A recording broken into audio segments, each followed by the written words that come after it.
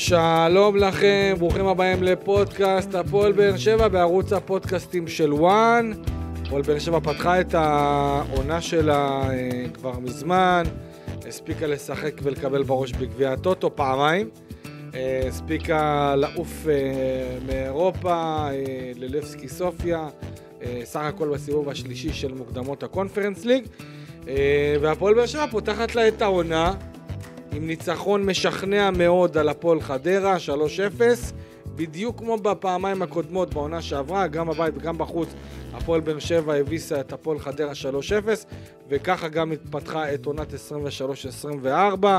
אה, קצת, אה, קצת נחת, סוף סוף ראינו כדורגל, הפועל באר שבע סוף סוף שיחקה בצורה אטרקטיבית, השקיעה, נלחמה, כבשה, בישלה. אה, ואני חושב שבסך הכל אה, קצת מרגיע, אני חושב, הניצחון הזה. תגיד לי אתה, דובב גבאי, מה קורה? אהלן, אהלן. את האמת... סוף סוף אה, ראית משחק ונהנית. אני נינוח על הכיסא. כן, רגוע. אני מרגיש שהכיסא ממש נוח. לא החלפת אותו? לא, וואלה לא. ממש כיף לי. צריך להביא כיסא אולי יותר... האמת, כן, מאוד מאוד נהניתי אחרי תקופה שהיה להם מאוד לא פשוט. שהם לא הציגו יכולת טובה. אתמול באמת היה כיף לראות את הפועל באר שבע. זהו, אז אם אנחנו אה, נתחיל, אה, כבר נצלול למשחק הזה, הפועל באר שבע מביסה בטוטו טרנר את הפועל חדרה אה, בתוצאה 3-0, עם הרבה מאוד דברים טובים, הרבה מאוד דברים חיוביים. יחד עם זאת, אתה יודע, אני חושב שגם בהפועל באר שבע אמרו, לא צריך להשתולל יותר מדי, כמו שאנחנו ניסינו להרגיע את האווירה. אחרי ההפסדים ואחרי המשחקים הפחות טובים, לא נשתולל אחרי המשחק נגד הפועל חדרה. אה, ושוב, זה תלוי באיזה משקפיים אנחנו רואים את זה. אם מסתכלים על זה על, במשקפיים של אה, אה, רוב משחקי הליגה, מעולה, אבל לעומת משקפיים שמסתכלות על מכבי תל אביב ומכבי חיפה, זה כבר משהו שצריך להיות בפרופורציות אחרות. אה, לא בטוח שהפועל באר שבע מספיק חזקה, מה זה, אני, אני בטוח שהפועל באר שבע לא מספיק חזקה כדי להתמודד אה, ראש בראש מול הקבוצות הללו, מול שתי הקבוצות הללו בעיקר. מכבי חיפה שלפחות לפי משחקי הכנה נראה שהיא משייטת לאליפות רביעית ברציפות. אה, איך אתה רואה את, ה, את הניצחון הזה מבחינת הדברים הטובים יותר? דברים הפחות טובים שאולי אפשר קצת עדיין לשפר ו... קודם כל נשים את הדברים בפרופורציות. אחרי ניצחון אחד לא לוקחים אליפות, ואחרי הפסד אחד גם לא יורדים ליגה. אני חושב שברדה היה מאוד מאוד חכם אתמול. אני חושב שהוא פתח בהרכב מאוד גאוני מבחינתו. אה, הוא הצליח איתו בענק. באמת המחשבה שלו לגבי המשחק, איך הפועל חדרה ישחקו, הוא פגע בינגו, ואני אסביר גם אה, למה. הוא החליט לפתוח שוב עם בררו בתור אה, בלם, הוא ויתר על בלם כדי להשיג אה, שוב יתרון במרכז השדה. הוא פתח עם שגיב יחזקאל כדי להשיג שוב יתרון בהתקפה. הוא לא פחד לשחק עם שני אלה, אחד כמגן ימני, כמו בפעם הקודמת שהוא פתח עם אבו עביד ביחד עם בררו. הוא בעצם הפעם אמר שהוא הולך על כל האגף הימני כאגף שהוא יותר דומיננטי וייצא יותר קדימה ויותר ידחוף. אמ, ובעצם הוא פתח גם עם אה, סטויאנוב, הוא המשיך לשחק איתו, הוא פתח עם אלון שנראה הרבה הרבה יותר טוב, הרבה יותר חד, אולם הוא לא הכניס גול, אבל הוא עדיין עשה הרבה פעולות טובות. הצליח להוריד כדורים, להיות... עשה פעולות טובות, פעולות יותר חדות מהמשחק האחרון שהיה נראה שהוא מאוד כבד ועדיין הפציעה גורמת לו להיראות ככה. עדיין זה לא אלון, הוא עדיין יצטרך להשתפר ואני מאוד מאמין בו, וכמו שאמרתי בהתחלה, הוא החלוץ הראשון שהייתי נותן לו לשחק. גנח, שוב אני מחייך שאני מדבר על גנח. תכף אנחנו נרחיב עליהם כן, כולם. כן. אבל כן, היה... גם uh, ספר, גם ספר מפתיע מאוד, וגם uh, הגיע הזמן לשקול אולי להשאיר אותו בקבוצה ולוותר על uh, פאון. טוב, אז uh, הפועל באר שבע כאמור פתחה את העונה שלהם ניצחון 3-0 על הפועל חדרה. Uh, אם אנחנו נתחיל בהרכב, אז אלני ברדה עלה עם אופיר מרציאנו בין הקורות. Uh, בחוליית ההגנה שגיב יחזקאל, יחד עם מיגל ויטור ועם uh, מיגל ויטור שהיה קצת חולה במהלך השבוע, uh, הצליח להתאמן שני העמודים האחרונים לפני המשחק ונכלל בהרכב. שיהיה חולה זה בסדר. יחד איתו uh, מריאנו בררו.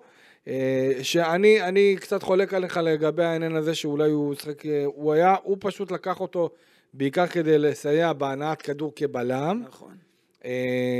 אני אישית עם כל הכבוד, אני אישית פחות אוהב את זה, כי לדעתי, בסופו של דבר, לדעתי בלם, אם יש את אבו עביד, אבו עביד צריך לשחק. במשחקים כאלה אתה יכול לוותר על אבו עביד ולשחק אוקיי. עם בלם שהוא פחות בלם. אתה יודע מה, באופי זורם שלו. איתך. זורם איתך, אם זה... כדי הש- משהו אם- אחר. אם זה- אם זה ודאי השיקול של ברדה, אני בטוח. בזה. אני זורם איתך. אלדר לופז פתח בתור המגן השמאלי, בקישור ראינו את אליאס אה, אה, גורדנה ויוני סטויאנוב, בהתקפה אמיר גנח פתח אה, בצד אה, שמאל, צד שני אנטוניו ספר ואלון תורג'מן פתח אה, בחוד ההתקפה. אה, בואו נתחיל מההגנה.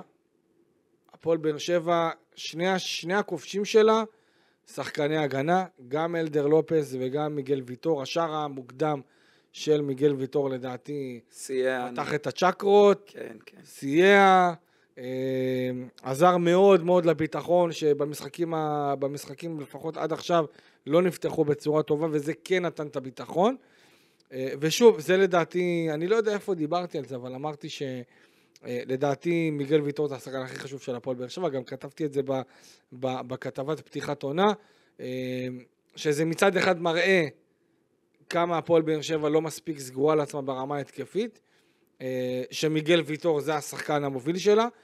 אה, ואני חושב שבסך הכל, אה, אם, אם, אני, אם אני אגע בוויטור, אז באמת ראינו כמה הוא משמעותי, גם מבחינת משחק ההגנה, גם הוא ברמת... גם ה- מנהיג אמיתי. כן, כן, מנהיג, ואתה יודע, אנחנו מדברים על זה הרבה זמן, הרבה שנים, מה קורה לבאר שבע בלי מיגל ועם מיגל, כמה מדובר פה בקבוצות שונות לגמרי, וזה בהחלט משהו שהפועל באר שבע תצטרך לקחת אותו לקראת ההמשך ולראות איך היא מצליחה אה, אה, לה- להיערך אה, מבחינה מקצועית ליום שאחרי מיגל ויטור. פתיחת עונה נהדר, נהדרת מבחינת מיגל ויטור עם השער הנהדר שלו.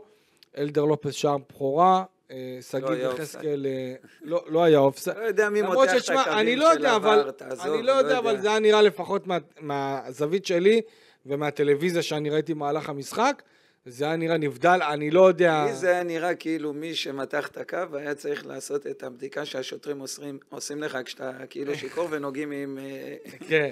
עם יד ימין ויד שמאל זה באף תלוי- וצריך ללכת על זה, קו זה ישר. תלוי איך הזה, כי אחרי זה אני ראיתי זווית אחרת שמראים ש... מראים כף קשה רגל. מאוד לראות את זה ככה, אבל בטלוויזיה זה היה נראה מאוד מאוד ברור שזה נבדל. אבל מה אכפת לנו? גול של הפועל באר שבע. נכון, אה, ואני חושב שהשער הנוסף אה, שהגיע מאנטוניו ספר, שער נהדר, אה, ואתה יודע מה, בוא נדבר ישר על אנטוניו ספר. תשמע, אותי הוא מאוד הפתיע. מן. הסתם, אותך, ואני מניח שגם עוד אלפי אוהדי הפועל באר שבע שראו את המשחק מהבית אה, או מטוטו טרנר, בעיקר מהסיבה הזאת שאנחנו ראינו קודם כל הרבה מהלכים טובים. אני אגיד לך אבל מה, מה ההבדל, למה אנחנו לא צריכים להיות כאלה מופתעים. והגול שלו גול גדול, אתה חלוץ, אתה יודע מה זה. לנגוח את ה... שלו, התנועה שלו והפגישה שלו עם הכדור היה מצוין.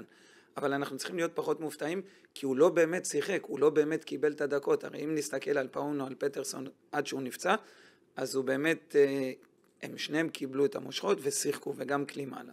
אוקיי, הוא לא באמת, הוא תמיד או עלה מהספסל, או שאפילו היה משחקים שהוא לא שותף. אז פתאום נכון. אנחנו רואים אותו בשני משחקים, אחד בגביע הטוטו, עזוב, בוא נשכח את התוצאה, נסתכל רק על לא, הגול זה גם. משחק אה, שהוא בהרכב לא מעניין, אה, שהוא לא מעניין אף אחד. הרכב שני שלישי, בוא, לא מעניין לא... אף אחד, אבל אנחנו כן יכולים לראות גול ענק ובעיטה מצוינת, אוקיי? וגם פה אנחנו רואים תנועה מאוד מאוד יפה וסיומת ענקית. אני חושב שמבחינת אנטוניו ספר, אה, אה, ברמת הטאץ' שלו בכדור, לדעתי, הוא עם טאץ' נהדר, נכון. אה, בין האיכותיים שיש אה, אולי בליגה. יחד עם זאת, דובב, המכלול, החבילה הזאת שכוללת את אה, אנטוניו ספר מבחינת הטאץ' והנגיעה שלו ומבחינת הפיזיות, לדעתי יש פה משהו שיוצר אה, לא שחקן מספיק משמעותי ואולי אה, איכותי להפועל באר שבע ברמת השובר שוויון. נכון, יש לו הרבה מאוד כישרון, הרבה מאוד כדורגל, יש לו בעיטה טובה, הנייחים זה משהו שהיה כיף מאוד לראות אותו בועט נייחים, גם קרנות, בטח קרן שרמזי אחת לא כמעט. משחק. נכון, בטח שרמזי לא משחק. לכן אני, אני לוקח את ה... אני לא, אני לא רוצה להתלהב יותר מדי, לדעתי עשה גול ענק. גם היה מעורב בכל השערים. נכון. שחקן מצוין ברמת הטאץ' והנגיעה שלו ברגל שמאל. יחד עם זאת, לדעתי משהו בפיזיות זה קצת אה, יכול להיות אה, אה, די אה, אולי קצת לפגוע בהפועל באר שבע, אולי, תשמע, מה זה לפגוע? אולי להיות לא מספיק משמעותי כ, כרמת השובר שוויון. אה, השאלה באמת איך הם מסתכלים על זה ואיך אלני ברדה לוקח, כי אין מצב, אין מצב שעכשיו אה, ימהרו לשחרר אותו אה, אה, מהפועל באר שבע, להשאיל אותו או משהו בסגנון. אנחנו לא יכולים להסתכל על הפועל באר שבע שלפני שבוע, שבועיים או חודש ולהעלים את כל מה שקרה מבחינת היכולת הן של השחקנים הזרים והן של הקבוצה עצמה. נכון שאתמול הם עשו הופעה ענקית, אבל עדיין הם יצטרכו להשתפר. האם כיף לראות אותם? כן, היה מאוד כיף לראות אותם. חדרה זה מדד של מכבי תל אביב ומכבי חיפה? לא. אבל הם היו צריכים את זה לביטחון. וחדרה מבחינתי היה משחק שהוא מוקש. למה? כי יש לך רק מה להפסיד בו. והדבר הכי טוב כמאמן שאתה מקבל זה גול בדקה הראשונה. אבל שוב ניגע בספר. אני כן חושב שהוא נראה טוב בשבוע וחצי האחרונים האלה עם משחק גביע הטוטו, וגם במשחק אתמול. להגיד עכשיו ולצאת בהצהרות שהוא שובר שוויון, אנחנו לא יכולים לעשות את זה. לא, לא, ממש לא, אני לא, לא רוצה ליפול לזה בכלל, ממש לא, רחוק מאוד. שבוע ושבועיים ושלושה. רגע לשמאל טובה, וואלה גם דאגנו- נגיחה טובה, אבל חוץ דאגנו מזה... להגיד ש... אתה יודע מה, אולי גם המועדון דאג לעשות אה, ולשדר את זה שהשחקן הזה צריך להיות מושאל. אוקיי, היום אם אתה שואל אותי, לא, הוא יותר טוב מפאון. אוקיי, זאת אומרת אולי הפועל באר שבע צריכה לשנות קצת את עניין כן. ה... את המחשבה לגבי מה הם עושים... את- אה, את המחשבה שלה. שחקנים. אה, כן, תשמע, בוא נדבר על אה, גן החמיר. אנחנו יכולים לעשות שני איזה יופי, תשמע, דובב, אני ראיתי את התקציר אחרי, כאילו ראיתי גם את המשחק מן הסתם. ילד. וגם, ולראות את התקציר אחרי, לראות את הדברים שאתה קצת רואה את הזווית, אה, את השערים מזווית קצת אחרת, תשמע, זה חתיכת שחקן. מעט מאוד ילדים, גבוהה. מעט מאוד ילדים בגיל שלו בהופעת אה, בכורה, אם אני לא טועה זה היה נגד נתניה בשנה שעברה, או בדקות שהוא קיבל השנה, או במשחק שהוא פתח האחרון, הציגו יכולת כזאת. בדרך כלל זה משהו שלוקח תהליך, לוקח זמן, השחקן מקבל פה עשר דקות, שם רבע שעה. הילד הזה, יש בו או חוצפה או חוסר מודעות, ששניהם לוקחים אותו עשר צעדים קדימה. תסביר את זה. כי יכול להיות שלפעמים אתה לא מודע למה שקורה סביבך. זה יכול לקרות. שאתה לא מודע לבאז סביבך, שאתה לא מודע למקום שאתה נמצא בו, בהפועל באר שבע. אבל מתישהו זה אמור לקרות, בוא. אה, שייפול לו וימשיך לשחק גם יותר טוב, זה מה שאני מאחל לו, אוקיי? ויכול להיות שבאמת הוא חוצפן ברמה שכיף לראות, אני מת על החוצפה הזאת. הוא אתמול יכל לעשות מאה פעמים דריבל, אף אחד לא יגיד לו כלום על המגרש. זה לא גורדנה יגיד לו, ולא ויטור, ולא לופז, ולא המאמן. והוא זוכה לקבוצה כזאת מסביבו, ולמאמן כזה, שנותנים לו חופש כזה. כי יכול לבוא מאמן ולהגיד לו, תישאר עם רגל על הקו, תלך ימינה, תלך שמאלה, ולתקוע אותו. ומה שאני רואה שברדה עושה עם הילד הזה הוא מדהים. הוא נותן לו חופש פעולה, הוא לא מגביל אותו, וגם כשהוא טועה, אתה לא תראה את ברדה משתולל בקו, איזה ילד, יוציא אותו, יחליף אותו. לא, הוא נותן לו לשחק. הוא יחליף את כולם, הוא לא יחליף אותו. הוא נותן לו לשחק, הוא נותן לו ליהנות. כיף לראות אותו, הוא נכנס לאמצע, הוא משנה צעד, הוא נכנס לאמצע, הוא בועט, הוא עשה בישול אתמול. מה ההבדל בין הבישול הזה? יש הבדל אדיר בין השחקנים שאני הולך להגיד עכשיו, כן? אוקיי. אבל בין הבישול הזה של גנח לבין הבישול שעשה מסי לפני שבוע, שכל העולם דיבר על זה, שהוא נתן את הצ'יפ הזה, הוא ברגל שמאל והוא ברגל ימין, לשחקן שינגח. אין הבדל, הוא הכניס כדור אדיר, עזוב שהתנועה גם של אה, ספר הייתה מדהימה, וגם במשחק הזה, שני כנפיים סוף סוף שגם אופציה לאיום על השער, סוף סוף שני כנפיים שנכנסים לרחבה, סוף סוף שני כנפיים שמוציאים רוחב, סוף סוף כיף לראות את זה. אה, אגב, אני לא זוכר מתי הפועל באר שבע, או מן הסתם המאמן של, אה, של הפועל באר שבע, פתח עם שחקן בית אה, כבר במשחק הראשון של העונה. מגיע לו. אני זוכר שמדמון פתח בעונה שעברה תחת אלניב ברדה נגד אשדוד, ואז זה נגמר לא טוב עם הטעות שהובילה לשער. אה, אבל באמת מאוד מאוד כיף לראות את זה. אני חייב להגיד שמהצד, גם אתה רואה שהקהל עף על גנח. יש סביבו איזושהי הילה כזאת, לא יודע, לא יודע להסביר את זה. הילה, ש... אתה זוכר שדיברנו לפני שבועיים או שלושה, על זה שאין לבאר שבע איזשהו שחקן שהוא נוגע בכדור ואתה קם. בדיוק. אני, אני ישבתי בבית וקמתי מהכורסה, וזה היה אחרי אימון בוקר, היה לי מאוד קשה לקום ולהרדים את הילדים, כבר הייתי מאוד עייף בשעה הזאת. הוא גורם לי לקום, כיף לי לראות אותו. וזה משהו שהיה חסר, דיברנו עליו כל כך הרבה, אני חושב שגם אנטוניו ספר גרם אה, בכמה וכמה רגעים אה, לדבר הזה. נכון. ובאמת, היה כיף מאוד לראות אתמול את הפועל באר שבע, אני חושב שבסך הכל הקבוצה הזאת אה, חוותה לא מעט אה, כאפות וסתירות. השבוע האחרון היה השבוע הכי קשה להפועל באר שבע. למה?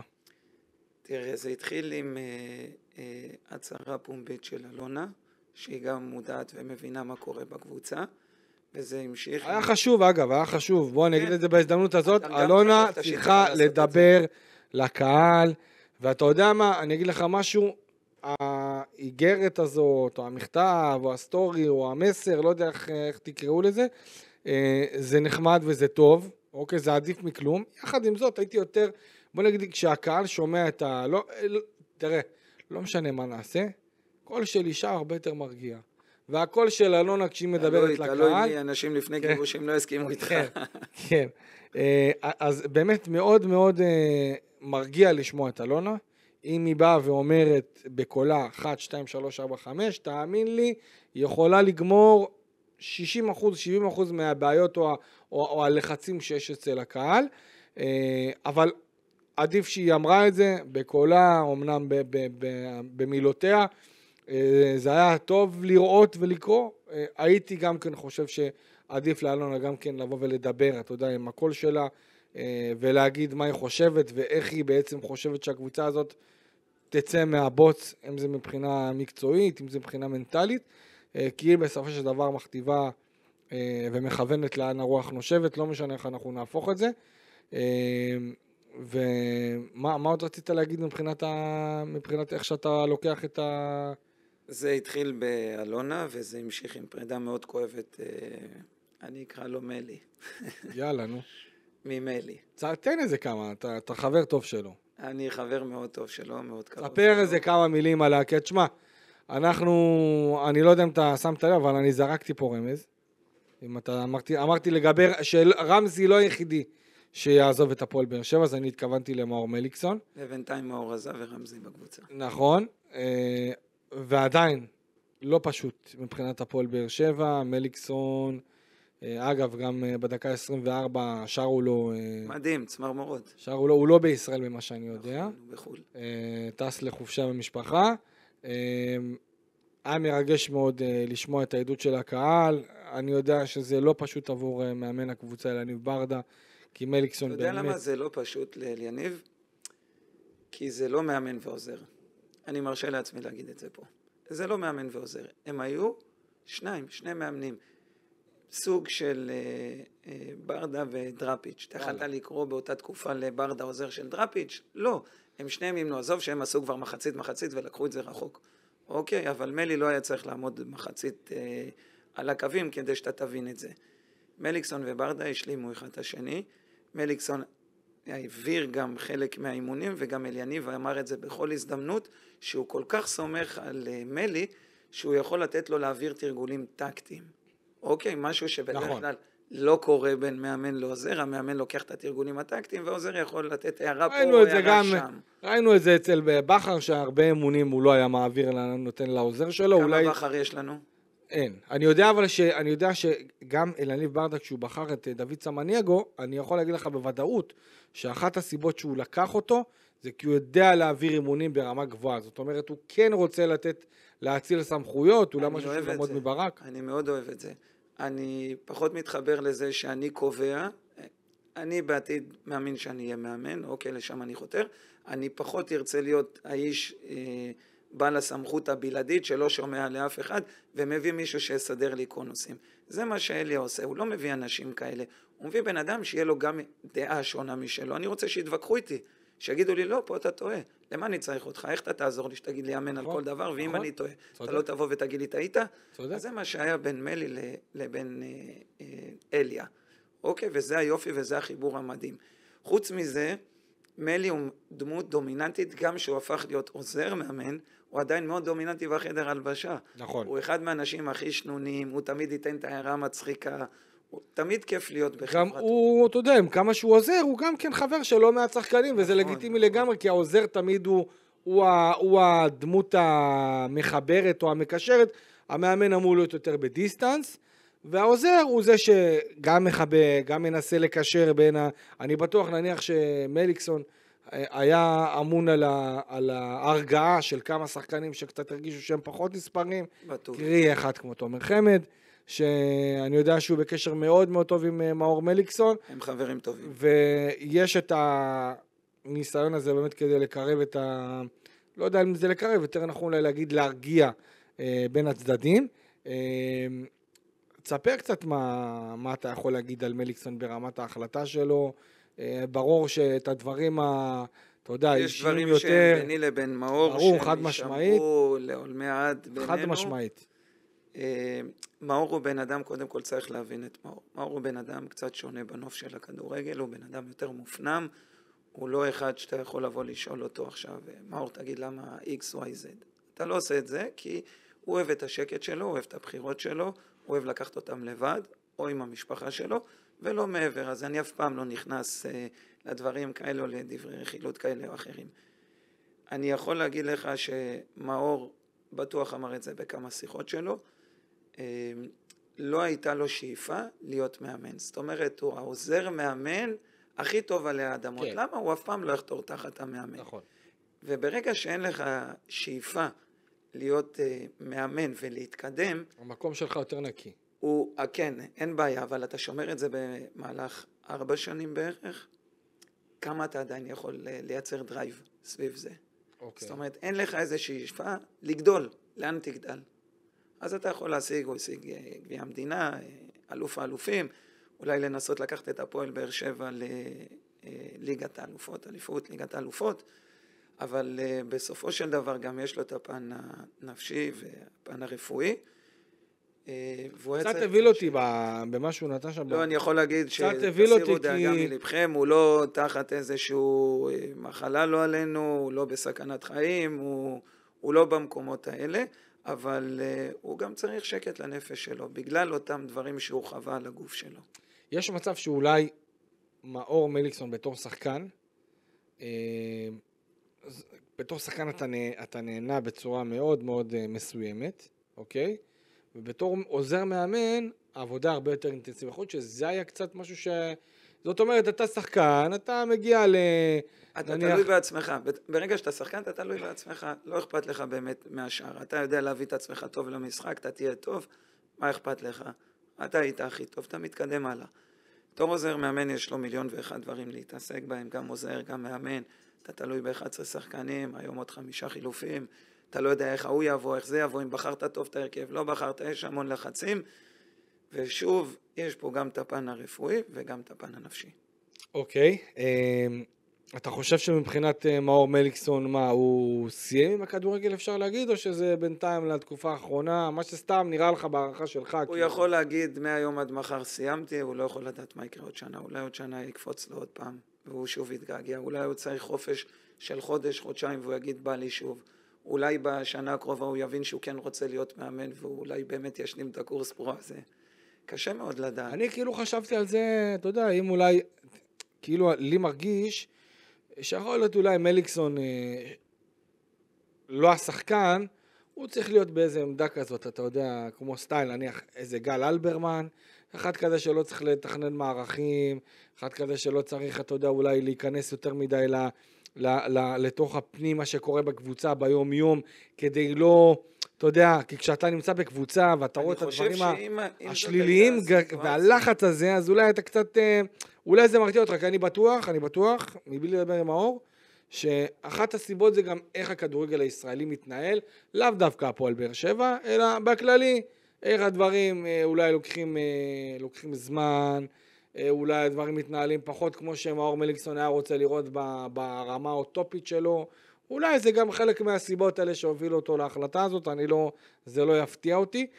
אה, אבל לי מרגיש כאילו אם אני הייתי, אבל בטוח, אני, אני בטוח שהציעו לו אה, תפקיד יותר אה, ככה, אם זה היה האישיו, אני בטוח שבהפועל באר שבע היו נותנים לו את התפקיד הזה. אני כי בטוח. מאוד מאוד מכבדים את הדעה שלו, עזוב, נכון. לפני שאוהבים אותו, אוהבים אותו כאיש מקצוע ומאוד מעריכים אותו. זאת אומרת, אם זה היה אישיו, אני חושב שהוא היה מקבל את התפקיד הזה. אני לא חושב שזה היה משהו שמשאיר אותו. טוב, אז uh, אנחנו כמובן נאחל המון המון בהצלחה למאור מליקסון בדרך החדשה שלו, איפה שהוא לא יבחר. Uh, כותב סדרה גם, שזה... Uh, ויש עוד איזה טיזר uh, בסוף החודש uh, הקרוב, שזה ממש עוד... נחכה לזה כולנו. מתי זה? בעוד שלושה ימים. עוד שלושה, שלושה ימים. כן, שלושה. אז באמת, באמת הרבה הצלחה, אוהבים אותו מאוד. Uh, גם מפה, מהאולפן, וגם כל אוהדי הפועל באר שבע. אם אנחנו נחזור למשחק, uh, היו עוד כמה דברים שהיה כיף לי לראות. אני חושב שמבחינת אה, אה, מבחינת השחקני הקישור, גם אליאס פייטר אמיתי כרגיל. אפילו יצא פעם אחת בספרינט מאוד מהיר, הפתיע אותי. ממש ככה. אה, לא, אתה יודע מה, אם זה הפתיע, זה הפתיע קצת, כי יש את החשש הזה אחרי הפציעה, לחזור זה לא פשוט. כל הספרינטים האלה אחרי מה שהוא, אחרי הרצועה האחורית שהוא קרא, הרצועה הצולבת האחורית, זה משהו שהוא מאוד מאוד משפיע, גם מבחינת הפחדים ברמה המנטלית. אמ, וגורדנה, הרבה מאוד פעולות טובות לגורדי. אני אמרתי את זה מ-day one, מה אני חושב על גורדנה. גורדנה ועוד עשר. באמת, אתה חושב? כן. משמעותי ברמת על. כמה, כמה אתה חושב שהוא קריטי ברמת ה... הוא פותח את כל המשחק. אתה ראית את הפתיחת משחק. אני, אני מסכים לך, כי ענת כדור... הכדור הגיע אחורה, ואז הוא קיבל את הכדור הוא קיבל פס, הוא נתן פס אחורה, הוא קיבל חזרה מהבלם, והוא פשוט עשה דריבל עד ה-35 מטר שלהם. אני מת על זה, מת גם, על זה שהוא לוקח את הכדור והוא פותח את כל המשחק. גם יהיה מחוץ לרחבה, שזה מאוד משמעותי וזה חסר מאוד העונה, וגם חסר בכלל בשנים האחרונות, אה, חוץ מספורי, אין יותר מדי שחקנים שמצליחים לאיים. רגע לפני המחצית, בעיטה אדירה שלו נעצרה אצל לויטה והשופט ישר אה, שרק אה, לסיום, לסיום המחצית הראשונה. אה, ובאמת, בסך הכל גורדנה באמת עוד מנהיג. הוא מאוד דומיננטי, אתה יודע מה? אני ארשה לעצמי להגיד שהוא הכי דומיננטי גם בחדר הלבשה של הפועל באר שבע היום. אוקיי, אתה אומר את זה מידיעה? כן. אוקיי. אה, אגב, זה לגיטימי, אני חושב שלגיטימי כי גורדנה הוא באמת אחד כזה שמאוד מאוד אה, מחבר, מלכד מסביבו, וגם עוד איזה סוג של מאמן על המגרש. אני חושב שגם זה שיותר מוציאים אותו למסיבות עיתונאים, דבר שלא היה קורה. דרך אגב, עד סוף העונה שעברה, אנחנו לא ראינו יותר מדי את גורדנה יוצא למסיבות עיתונים ובאמת מדבר, ואתה שומע אותו מדבר כמו קפטן, גם יודע לקחת אחריות, גם בא ובאמת אה, מדבר על דברים טובים יותר ודברים אה, טובים פחות. ובסך הכל אני באמת חושב שהוא מאוד מאוד קריטי להפועל באר שבע. חזרה שלו מפציעה עוד מהעונה שעברה זה משהו מאוד דרמטי ברמה החיובית, כי באמת אתה רואה שהוא מוסיף גם מבחינת המנהיגות על המגרש וגם מבחינת ה, אה, איך שהוא לוקח את המשחק ומצליח להניע את הכדור, כי הפועל באר שבע בהנעת כדור בלעדיו מאוד מתקשה. כרגע זה נראה ששניהם מאוד טובים ביחד, גם אליאס וגם גורדנה. כן, ממש ככה. אה, בררו שהופך להיות אה, בלם יותר, אני שוב, אתה אמרת שזה עוזר להנעת... המשחק נגד חדרה. למשחק נגד חדרה ספציפית. אנחנו לא נראה את זה, לא נגד מכבי חיפה אני מסכים איתך, גם לא נגד קבוצות, אה, שוב, זה לא שבררו חלילה לא משחק טוב בתור בלם, אני פשוט יותר אוהב את האינטנסיביות של אבו עביד, לדעתי זה משהו שהוא מאוד מאוד חסר. אה, סטויאנוב, וואלה, צריך להגיד מילה טובה, השחקן אה, לא הצליח, ואתה יודע, הוא גם כן, אתה יודע, לא, לא, לא כולם יודעים, אבל הוא, הוא נפצע נגד מכבי נתניה ביד. לא הצליח להתאמן באופן סדיר באימונים האחרונים אה, בגלל איזשהו אה, אה, סד מיוחד, בסופו של דבר הוא קיבל איזה קיבוע, ועדיין למרות כאבים הצליח לשחק. הוא יכל לסיים גם עם בישול. יכל לסיים גם עם בישול, ואני חושב שבאמת כל הכבוד לו, ובכלל הגישה של הפועל באר שבע הייתה גישה טובה, ואני שוב, אחרי שקיבלתי על הראש במחאות, ממישהו מאוד מאוד קרוב, אליי לפחות, שגם כן קרוב להפועל באר שבע, עניין הגישה, מצד אחד זה טוב לראות לחימה והשקעה, מצד שני, זה ה... זה ה... לא נדבר על הגישה, אתה יודע על מה אני רוצה לשים לא, המטרה של השחקנים והסיבה שהם קבלו כל כך הרבה כסף זה כדי לשחק בגישה הזאת. הקצב. אוקיי, קצב זורם איתך. הפועל באר שבע היו בקצב מאוד מאוד גבוה, אינטנסיבי. מההתחלה. מה... מהשנייה הראשונה. כן. זה לא היה לפני. לא. זה לא היה לפני. ראינו הפועל באר שבע אחרת, תוססת. עוד פעם, נחזור לזה שאנחנו עומדים, שאנחנו מצפים שיש, אה, שיש התקפות. קצת ריגוש, קצת לראות איזה משהו אחר. לשער, שיש אה, כניסה של הכנפיים לאמצע, שיש הרמות, שיש נגיחות, שיש בעיטות לשער. משהו אחר. הקצב היה מאוד מאוד גבוה, היה כיף לראות את זה אתמול.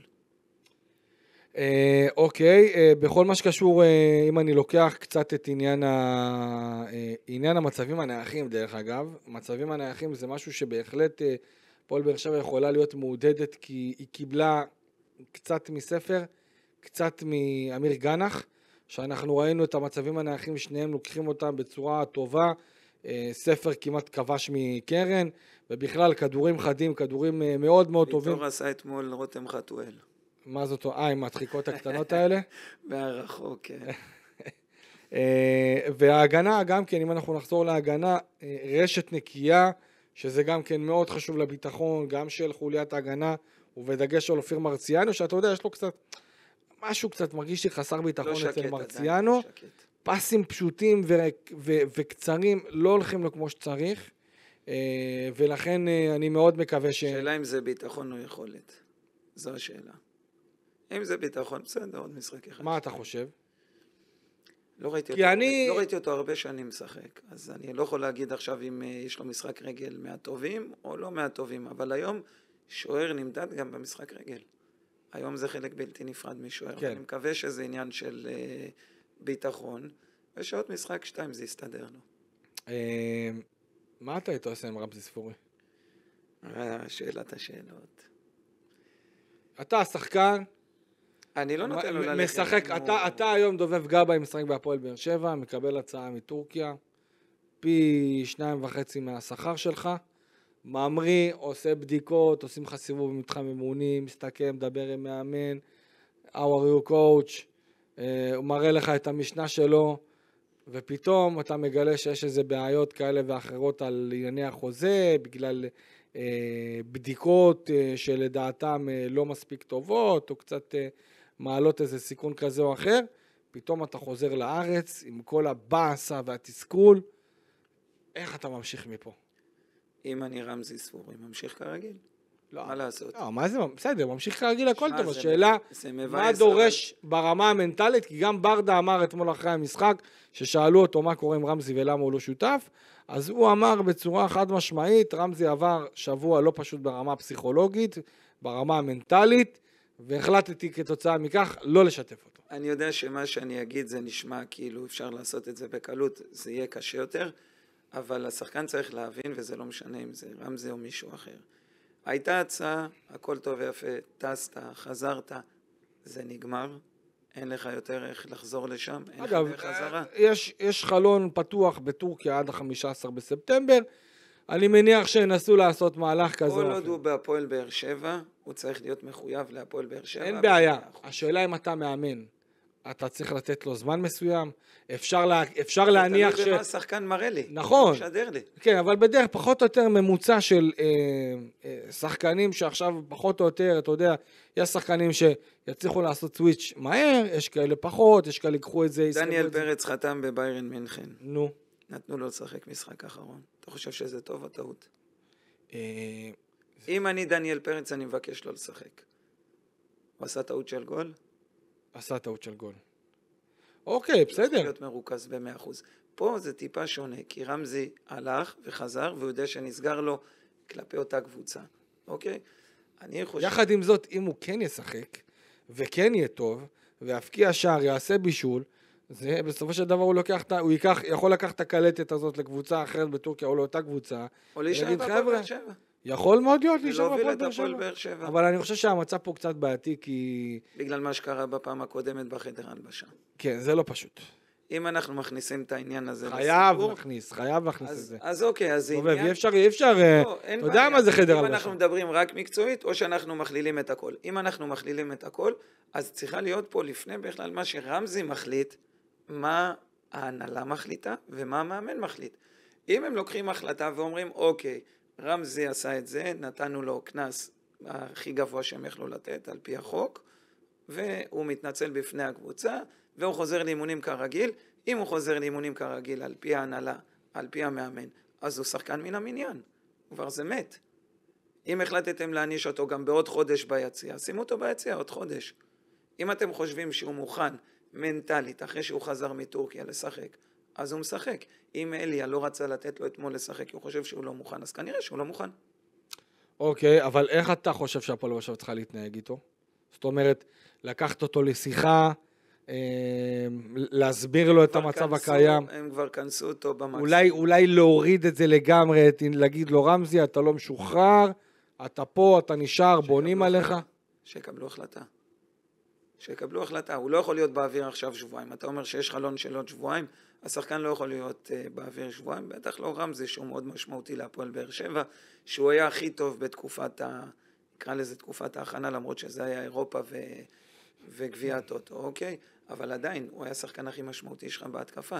אתה לא יכול להתנהג איתו כמו שאתה מתנהג עם אחרון השחקנים. ברור. עדיין יש לך פה שחקן עם משקל מאוד מאוד כבד על הקבוצה, אז אתה צריך לקבל החלטה. זה או שאתה מחזיר אותו לקבוצה, או שאתה אומר לו עוד שבועיים ואז אתה מוציא אותו לשבועיים להתרעננות בחוץ ביציע, או שאתה שול... מקבל הצעה, הלך, לא מקבל הצעה, תחליט מה אתה עושה, או יציע או שהוא חוזר לשחק. שחקן מן המניין. אה, כן, חד משמעית, אני חושב שבאמת, אה, כמו שאתה אמרת, זה מאוד, מצב לא פשוט. מצב לא פשוט להפועל באר שבע, לראות איך היא באמת מצליחה למצוא את הפתרון הכי טוב שיכול להיות אה, מבחינת אה, רמסי ספורי וגם אה, הפועל באר שבע עצמה, כי אני לא, אני לא חושב שזה יכול לעשות טוב בטווח הארוך, כל המצב הזה.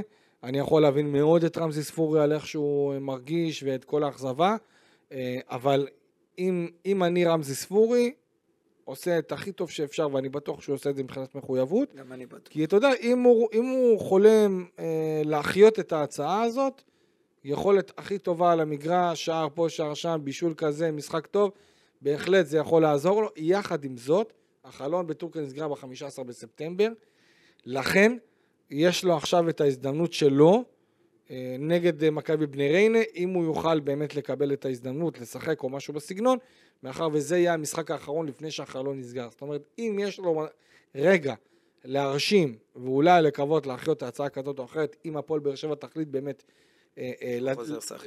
לא, שהוא בעצם מצד אחד חוזר לשחק, מצד שני רוצה עדיין לתת לו את הפתח הזה ליציאה לטורקיה, יש לו הזדמנות נגד מכבי בני ריינה, ולדעתי, אם אני רמזי ספורי נותן את הכל בשבוע האמונים הזה אה, לקראת ריינה, גם כדי... נכנס לאליה לשיחה ולהגיד לו שאני רוצה לשחק ואני מחויב 100% לקבוצה. בדיוק. מה יהיה בשבוע אחרי ולך? תדע, לך תדע, אתה יודע, כדורגל כל כך נזיל, אנחנו רואים פתאום ספר שניסו ככה להשאיל אותו לקבוצה אחרת אה, בארץ ובחו"ל, פתאום אה, הקהל מתלהב ואנחנו מתלהבים, ו, ופתאום אולי אנחנו מקבלים פה איזה שיעור בסבלנות, למרות שאני אה, מרשה לעצמי פחות להתלהב, ואני אני תמיד מנסה לחשוב אה, על הפועל באר שבע ועל השחקנים שלה, לעומת מכבי תל אביב, מכבי חיפה. בדיוק נגד הקבוצות עם היותר כל הכבוד. איך הם מתמודדים. בדיוק, כי אני למשל חושב שברמה הפיזית ספר, אה, אה, יש לו בעיה מול מכבי תל אביב ומכבי חיפה. זה לא רק ספר. נגד רוב קבוצות הליגה לדעתי הוא בסדר גמור, הוא אם יכול להתמודד. אני אקח את כל ההרכב של אתמול, זה לא רק ספר. יש בעיה עם בררו,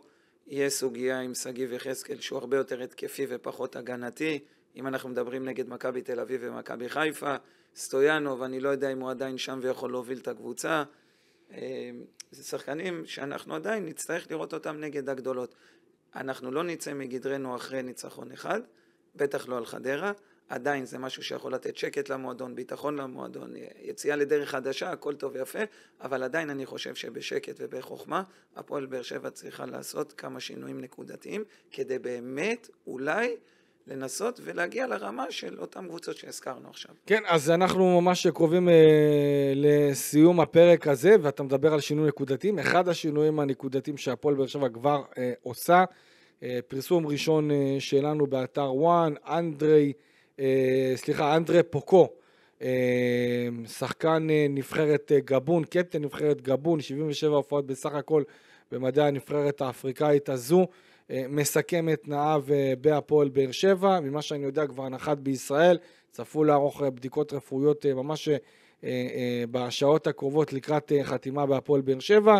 הוא מגיע מהליגה הסעודית, שם אתה יודע יש רפורמה כזאת שעכשיו אנחנו רואים את כל הכוכבים, אז מן הסתם שחקן אולי בפרופיל הזה פחות מתאים לרמה שמתבססת לה בליגה הסעודית.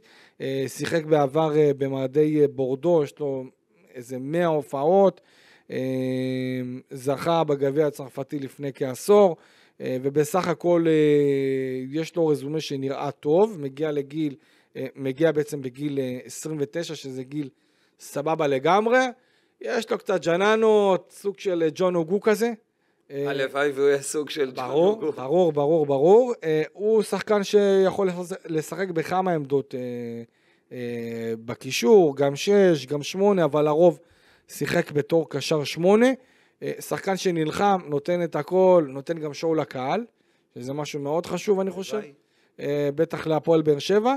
והוא צפוי להיות הרכש החדש של הקבוצה, פרסום, של, אה, פרסום ראשון שלנו באתר וואן, ואחרי שהפועל באר שבע הודיע בבוקר שהוא סיכם אה, באופן רשמי, אני מניח שבשלוש הקרובות, אם הכל יעבור כשורה בכל מה שקשור לבדיקות הרפואיות, הוא גם כן יחתום באופן אה, סופי וסגור בקבוצה. השאלה שלי, דובב, אם אתה היית עושה לפני סיום, אם היית עושה עוד איזשהו מהלך אה, כזה או אחר בהפועל באר שבע. שחקן התקפה.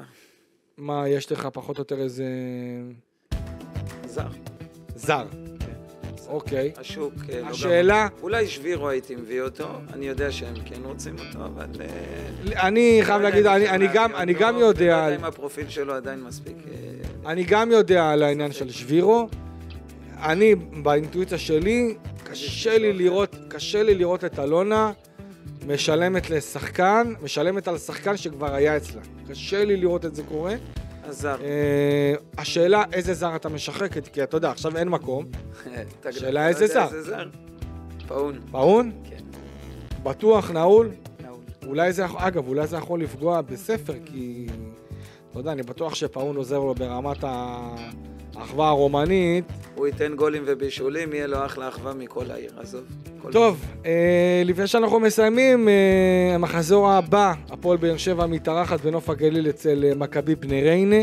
ניצחון שני ברציפות יכול לתת עוד יותר ביטחון להפועל באר שבע ואליניב ברדה אחרי פתירת, פתיחת הקיץ הנוראית אה, אה, שלהם. אה, איך אתה רואה את המשחק הזה, ואם הפועל באר שבע יכולה למעוט שם? זה לא משחק קל. יודע, ריינה תמיד קשה לשחק נגדם, הם לא סתם שרדו עונה שעברה. עדיין, אני הולך עם הפועל באר שבע 2-0. יחסים של הווינר, לפחות, אה, אתה יודע, אני, אני ממשיך אה, לנבא ולנחש את היחסים של הווינר אה, לקראת המשחק הזה. אני משער שהפועל באר שבע תקבל יחס פחות או יותר, יחס 1.50, 1.40, פחות או יותר. ריינה בבית נראה לי יחס של איזה, יחס 5. תיקו יחס של איזה 4 או 3.50.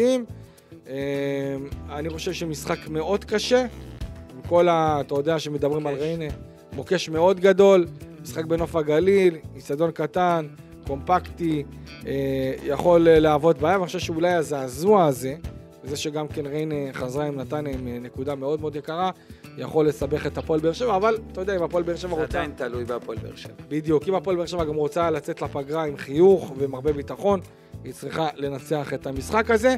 אה, אני מהמר על 1-0 אה, קטנצ'יק להפועל באר שבע. אני שתיים. אה, חברים, תודה רבה שהייתם איתנו כאן בפודקאסט הפועל באר שבע. תודה רבה דובב גבאי. תודה רבה לכם. תודה רבה אופק שדה על הכל. דובב, תודה שעשית את כל הקרבה הזאת כדי שנוכל להקליט. אני הייתי כאן איציק קלפי. נצפה לעוד משחקים כאלה של הפועל באר שבע. תודה רבה.